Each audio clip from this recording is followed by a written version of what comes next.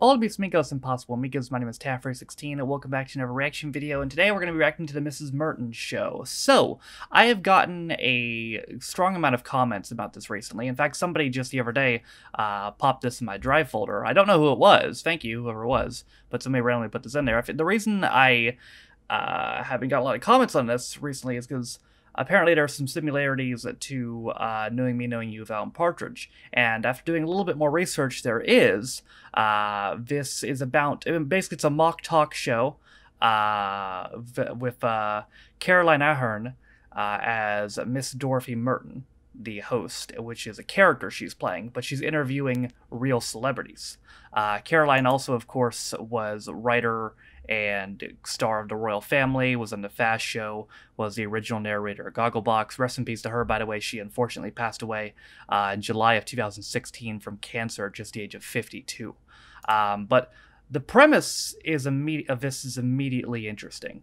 Her playing a character but interviewing real celebrities. That that intrigues me a lot. Um, this had four series, 29 total episodes uh, ran from 93 to 98. So I do not imagine this is something that needs to be done in order. If it does, well, uh, but I'm going to take the risk that it's not. Uh, because we're going to do the first Christmas special, which was Series 2, Episode 7, aired on December 24th, 1995. Okay, here we go.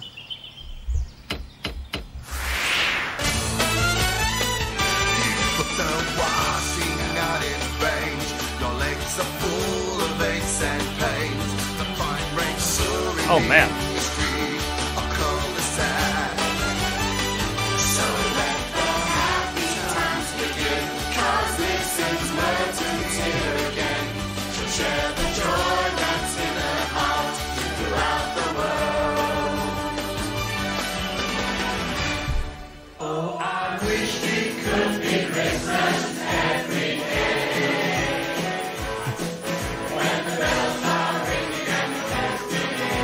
I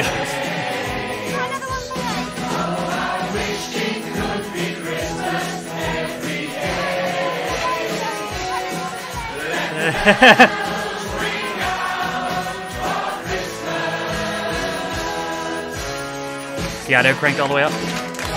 Yeah.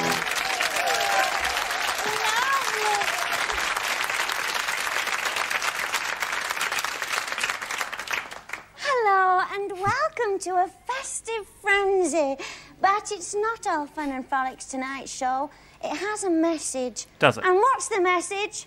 Happy Christmas! Good enough yes, message for me. Happy Christmas to one and all. And because it's Christmas, let's unite the whole of mankind with a song from two of the most popular people in the world. Ladies and gentlemen, Mike and Alma Baldwin.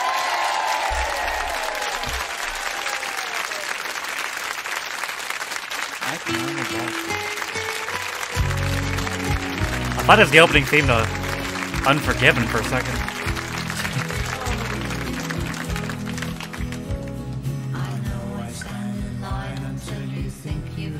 time to spend an evening with me. And if we go someplace to dance, I know that there's a chance you won't be leaving with me. Afterwards we drop into a quiet little place and have a drink or two. And then I go and spoil all by saying something stupid like, I love you. That's me. Your eyes that you despise the same old lies you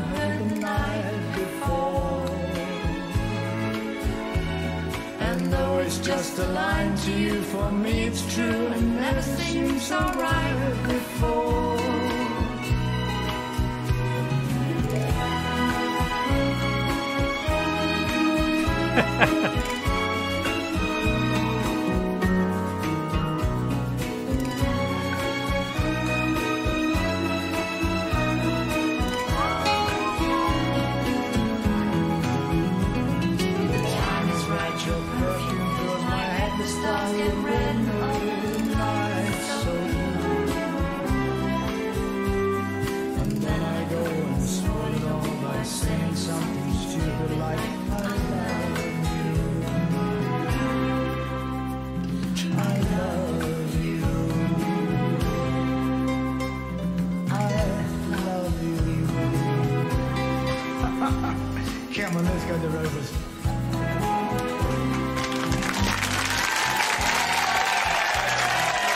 Get me of them hats.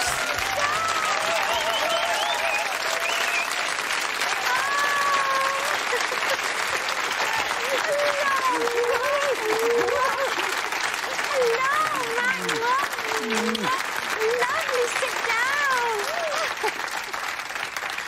Oh, that was a singing sensation. It really. You're the new Ike and Tina Turner. Hopefully not. You really are. Johnson, I thought it was. But you know something? That we one didn't love end quite so Coronation well. Street, don't we? Oh, We they're in Coronation Street. We really do. Thank you. And Alma, isn't, isn't she glamorous, don't you think? Lovely. You know, you're wasted in that cafe. Don't tell her that. But you know who I miss now from Coronation Street? Shamia. Oh. Shimmy. And he was such a good actor. Every. you know, I used to. Every time I used to fill up. I used to just fill up. Every, every time he said, I love you, Deirdre. I'll have to see some Shamir. And Put it on the course, list. He dossed it. What do you do? Such a shame. But do you know, every time we see Gail in your cafe, Yeah, my she's friend, your friend Gail. She's always opening a big catering-sized tin of beans. I know. How many beans are they eating with the tin? Can a day. She is though, isn't she? Yes, yes, yes. But what are the Granada big knobs like? Because I'll tell you for why. They made such a fuss when Ivy came on with those great big new lips, didn't they? Don Brennan came back with a new leg. They didn't bother. What was to do there? you think? Yes, you That laugh. storylines, haven't you? You can lose bits. I know you can. Is it great fun doing it? Oh, Yes, it is. Like, is it your one big family? Yeah. Yes, it is actually. who, who in the cast don't you like? Who can't, who can't you stand? I knew we shouldn't knew talk to say her. But you know something? Do you know Betty Turpin? Betty Betty, Turpin, yeah. we know Betty Well, the thing yeah. about Betty was she hadn't Yeah. seen that Billy for 50 years, had she? No. She made him one hot pot. the next thing, dragging her down the aisle. What's in that hot pot? That's all it takes sometimes. Of course, we've got the big special tomorrow, Christmas oh, Day, yes, haven't we? yes. What's happening? We don't don't know. know. No, No, they don't tell us anything. Don't they? No, they don't. We're the last to know. I'll tell you something. What? If there's nothing going on in, in the Rovers, will you give us all a little wave? Yes, it. Is that a live Ladies episode? and gentlemen, will you thank Amanda Barrie and Johnny Briggs? Oh, okay. She introduced them as their character names. So I was like, is he like When I the wish you a Lost Baldwin sporting brother? little Christmas, I will, of course, be sharing my bird and stuffing with Mrs. Merton. Oh. Hold up. At this time of Pause. Year, my thoughts often turn to Christmas. And I know what you're all wondering. What sort of a Christmas does a top lady Euro MP have? Well, here to tell us, the one and only Glenys Kinnock. Sleigh bells ring, sky is lifting, in the lane, snow is drifting. A beautiful time, we're happy tonight. Walking in You got that Hillary Clinton hair. It's lovely to have you on, Glenys. be here. You look very festive. Oh, well, I tried to look festive. Thought it was appropriate. No, it is. What with it being Christmas Eve and everything. That's everything. right, yes. But put us all out of our misery. What's a Kinnock Christmas like? Uh, much the same as anyone else's Christmas, I suppose. Yes. Presents, kids, my Just with father's more money? there, all the family, and uh, so it's much the same as anyone else. Mince pies, sausage rolls, turkey. I can just see it all now, you know. Neil's there, snoozing on the sofa. Yeah. His party hat all askew, Yeah. roasting his nuts by the fire. That's what Christmas is all about, Yeah. though, isn't it? Do you have a big turkey? Um, quite small, actually, yeah. Really? But is Neil a, a breast or a leg man? He's a light meat man. A la- is he? Yeah. Good answer. Lovely. Yeah, the breast, I suppose you'd say. Oh, yes. yes. yeah. But you know, in my house, what we do, we have my friend Lily round for Christmas oh, dinner, hmm. and her bladder isn't 100%, you know. That can be a problem. It is because she can't seem to hold it all up, you know. And we don't put Morecambe and Wise on. you know, she's no control. And the thing is, my husband, it doesn't help the situation. He's hovering there with a bucket and he's whistling the theme tune to the Dam Busters, you know. Can you imagine what it's like? And she's happy enough with that, though. She's Oh, not, she yeah, thoroughly yeah, enjoys yeah. it. It's just us and left to mop it all up, you know. paddling Wellington's great. I can see you've That been doesn't there. sound very festive. no. But how is Neil? He's absolutely fine. Is he? Yeah, yeah. He's working on trains and boats and planes because he's responsible for transport. So that's his, yeah. Well, it won't do much damage there, will No. it? Certainly not in this country. no. I always think me and you, Glenys, we've got a lot in common. I think we do. Because my husband, he's never been Prime Minister either. Did he try? Oh, yeah. Well, at one time, Yeah. you know, he wanted to become like a local MP for our constituency, Which is, yeah, which is where? it's, uh, well, it's Stockport. Oh, yes. right. Yeah, well, he'd have won if he stood for Labour. Was he? Was he going to be a Labour candidate? Well, what happened was, at the, at the last moment, he Oh, couldn't be bothered, you know. and he couldn't decide which party either, you know. That would be a bit of a problem, I think. But what's a typical bedroom scenario for you and Neil?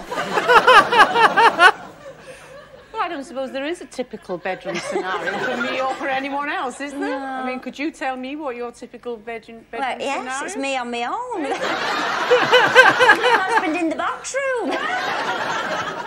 Let's talk about Tony Blair. Now he's I don't know about him in the bedroom either. You're very sharp, Glenys.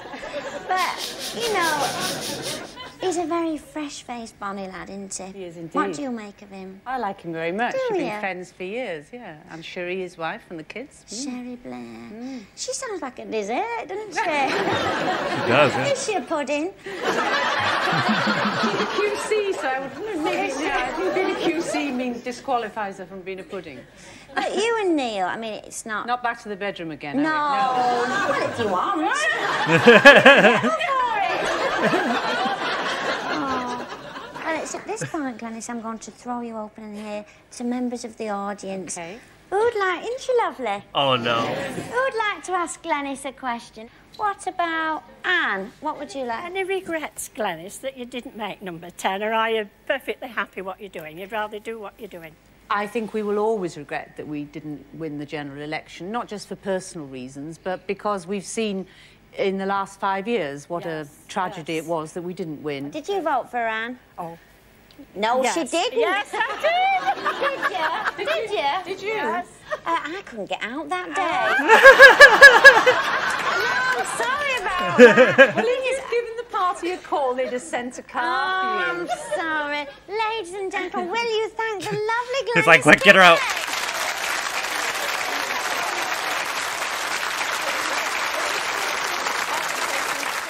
Have a wonderful Christmas and a happy New Year. Thanks, buddy.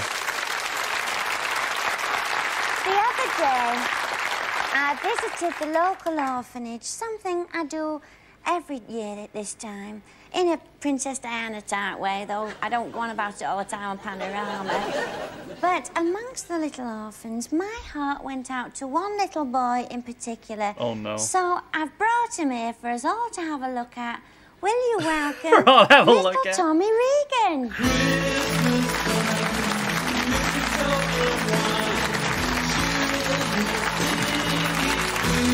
He's focused on the path. I used to do that. Alright, get from point A to B. Just look at the floor. Look where I'm going. Sit down. It's lovely to see you. Got those Ralphie and tell me, glasses. tell the ladies and gentlemen, how old are you? Seven. Seven. And I visited your orphanage, and I brought you all a present, didn't I? Yes, a Satsuma. Yes. yes, I did. Well, they're not cheap. but Tommy, are you looking forward to Christmas? No, No.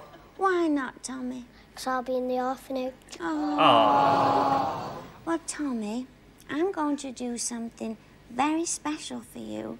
something that you'll like more than anything else in the world. Do you know what that is, Tommy? The Never Satsuma? I'm going to sing for you. I am. Bring on the hidden piano. Yes! You come with me, Tommy. The hidden piano. Come with me. Tommy's like, good God, why?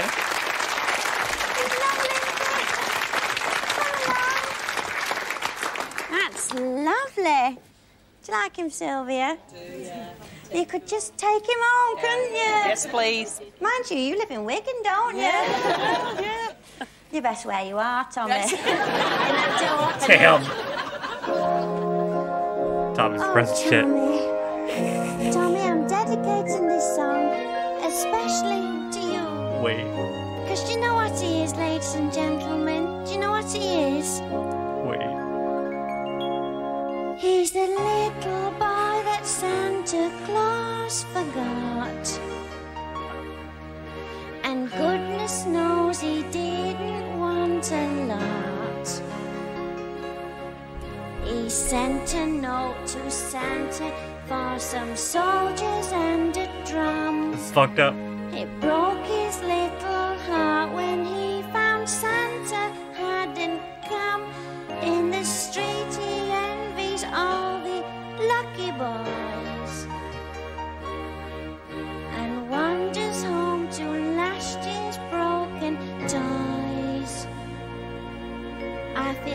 sorry for that laddie. He hasn't got a daddy. Little boy that Santa Claus forgot. You know, Christmas comes but once a year for every girl and boy. The laughter and the joy. Look at her face!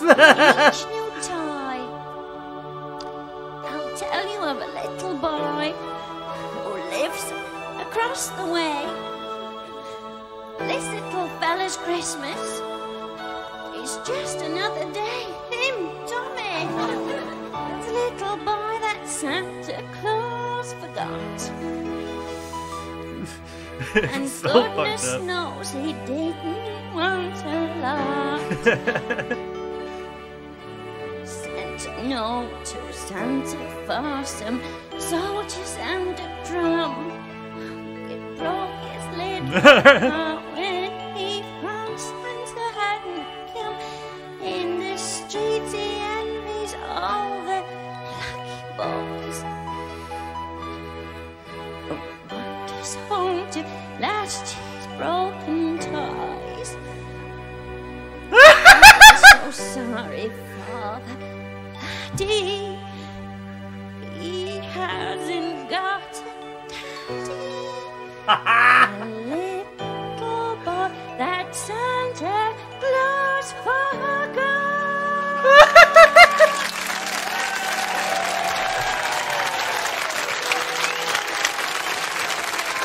great. Now he doesn't have a dad and he has clinical depression.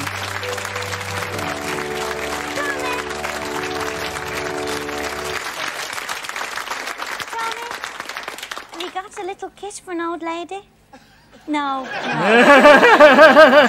well, ladies and gentlemen, will you thank the lovely orphan boy that is Tommy? Oh, she almost broke there. I heard it in her voice. Oh, this way, this Lovely.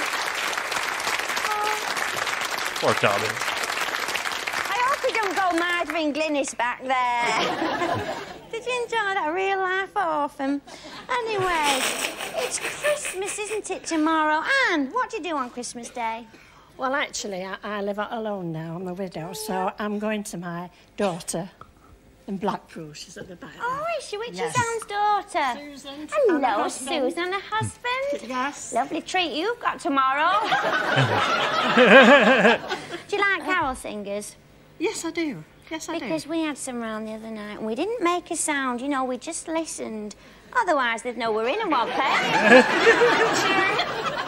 So, what about you, Irene? What do you do Christmas oh, I Day? like to be with the family. Do ya? Yes, yes.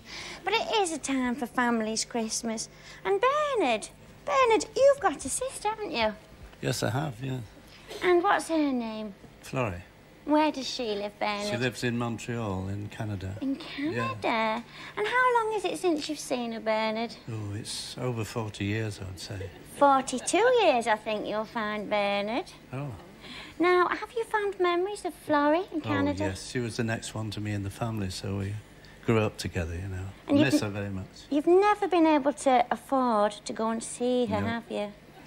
Now, Bernard, if Florrie was to come down these stairs tonight, Yeah. would that make your Christmas? Oh, absolutely. Yes, it'd be wonderful. Well, Bernard, you want to go on surprise, surprise, mister? what they do on that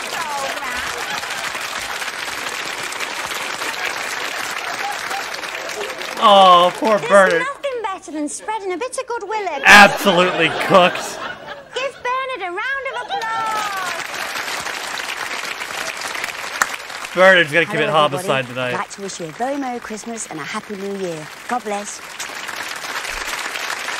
the very, the very thought of my next guest will make your mouths water. No, it's not an opal fruit. It's TV cook Gary Rhodes. Oh, whoa.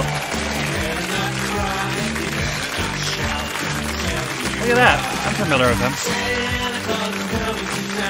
Rest in peace to him as well, I believe. I believe he died like right before the pandemic, actually. I remember hearing about that. Hello. Hello. I like the hairdo. Thank you. I was going to say exactly the same thing. But Gary, when did you first become interested in cooking? Um, from a very young age, probably about the age of about 13 or 14, cooking for my little sister at home. And then uh, it went on to cooking Sunday lunch for the whole family, and that's how it started. Do you ever think that, you know, there's a, a sort of a, a Jessie element in a grown man cooking? Does it look like it? I mean, no, not at all. I think if you look at it, chefs really, the, all the great chefs we've had have all been men, haven't they? Lots of brilliant women chefs now, though. Do you like Delia Smith? Good Gary? save. Delia is an institution, isn't she? He's like, shit, wait a uh, minute. Brilliant lady. Brilliant lady. But, you know, my favourite cook was always Fanny Cradock. Oh, yeah. And I'm always thinking of her. How often do you think of Fanny? I would say, yeah, she's often on my mind. Yes. she is, yeah. But of course, you did the Rhodes Around Britain, that Mhm. cookery series. Did you enjoy doing that? I did very much, yeah. It was good fun, meeting people. That's what I enjoy more than anything, is meeting people and getting them excited about cooking, you see. Well, you do that. Yeah, I try. But my husband, he, he's a big fan of tripe, you know, Mhm. and he loves your programme. Yeah. Do you know, it's the one thing I don't like and don't eat is tripe. No, but I watch yours.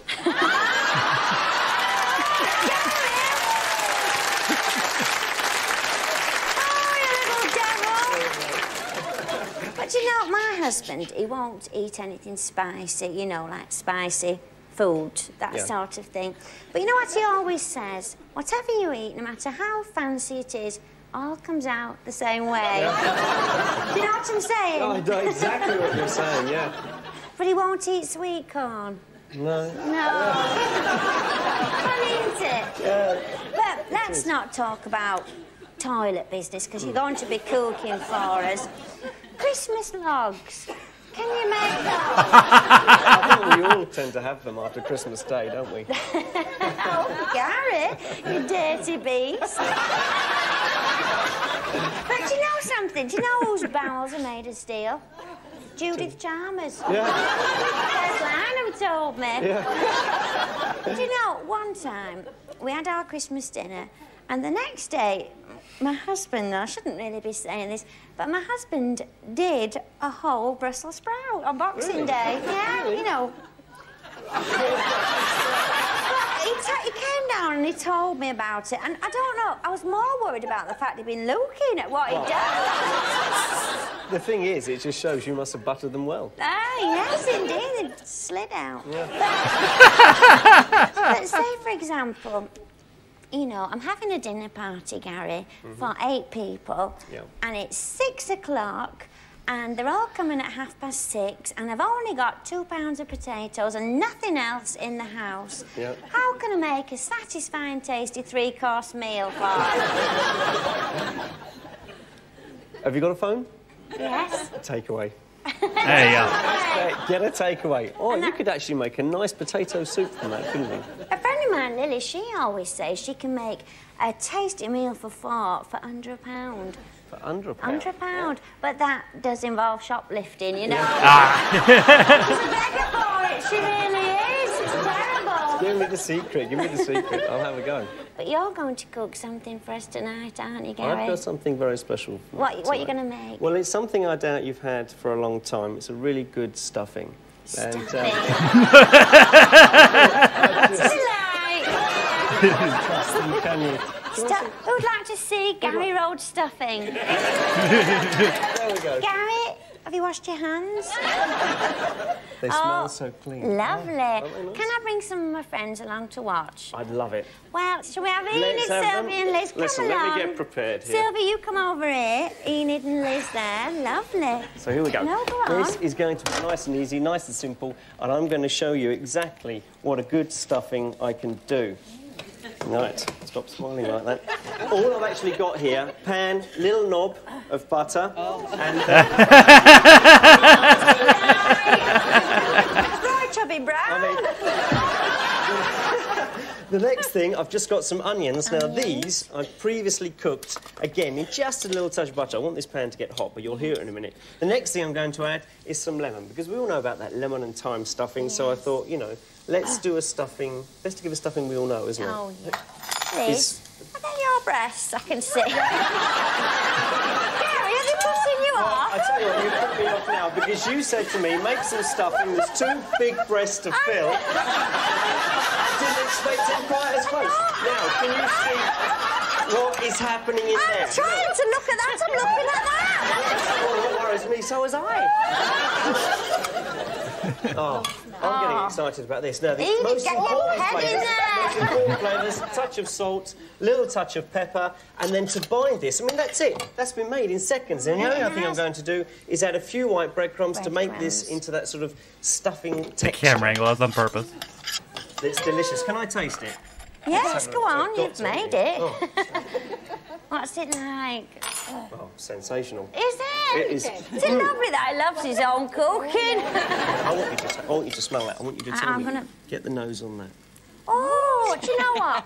It's like a vivacious number, but emi- eminently palatable. Yes. You know. Lloyd Grossman tonight. Thing he Look says, that. you know. Ladies, I want you to try this. You've got to taste it. Taste that. It's been made in seconds. What's it like? Oh, it's beautiful. Is it lovely? Gorgeous. It's not Liz, there with both your friends. Tastes like back sore. Oh, Gary. What do you think? Gary, it tastes. It tastes professional. It's not bad, is it? No, it's like it's like a party on my tongue. I does say that not all of my stuffings are as quick as that, but No. you know, I'm glad to say. That is so lovely.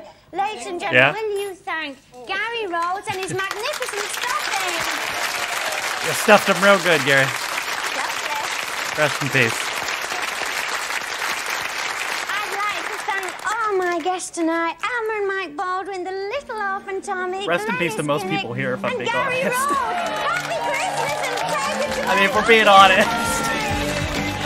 Rest in peace to the majority of the people in the studio.